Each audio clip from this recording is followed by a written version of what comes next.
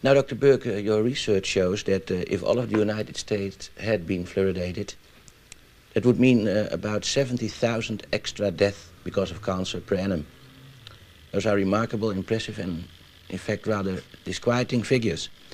Could you shortly describe your research in this field and what results did you get from it? Yes.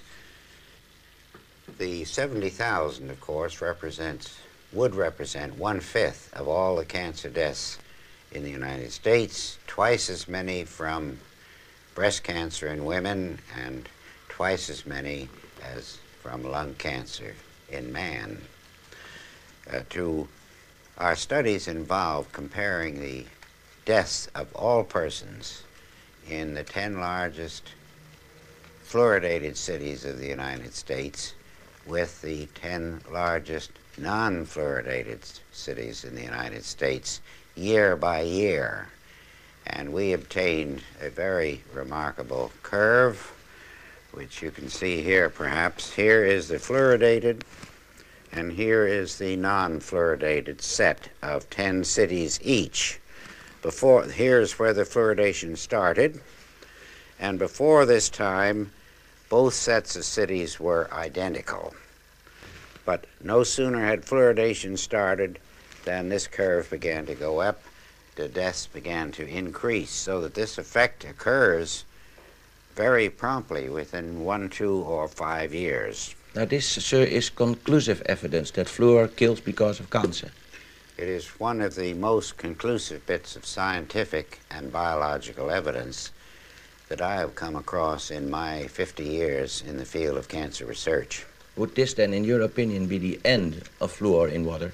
In drinking water? It should be the end, and in the United States, it should so be the end by federal law known as the Delaney Amendment, which says that anything found to induce cancer in man or animals cannot be legally put into the food or drink of man or animals.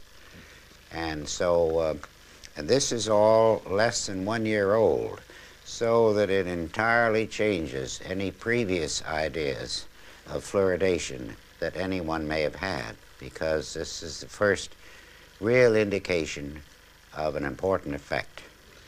Now, in, uh, in, in, this country, of course, the state of the, uh, the dental state of the Union, the way people's teeth look, is incredible indeed. Would you say that uh, stopping fluor had other effects than increasing the dental problems in this country?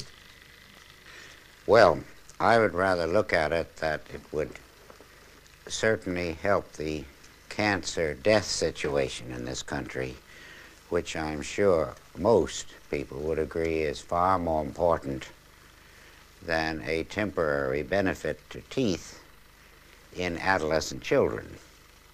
Now, this, uh, this, this, you see, amounts to public murder on a grand scale. It is a public crime, it would be, to put fluoride in the drinking water of people.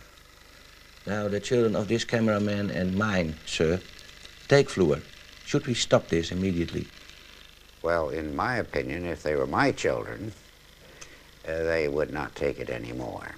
I can only recommend for myself, but I would suggest to you that they stop it. Is there a difference uh, in having fluor in drinking water or administering little fluor pills to children? Well, of course, the little fluor pills are a much smaller proposition than drinking gallons of water per day or per week, as well as taking a bath in it and washing your automobile in it and watering your lawns. That's a very massive thing compared to uh, brushing teeth with fluoridated toothpaste. But uh, our work is immediately concerned with drinking water. What happens to toothpaste, I'm quite willing to uh, let the future studies go into that in more detail.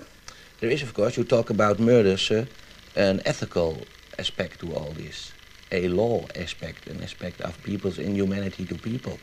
What is your uh, idea about how should this be implemented in our society? the ethical aspects of administering poison, as it were, to people? Well, I think this aspect, this murder aspect, uh, clearly indicates a very strong unethical aspect to forcing people to kill themselves.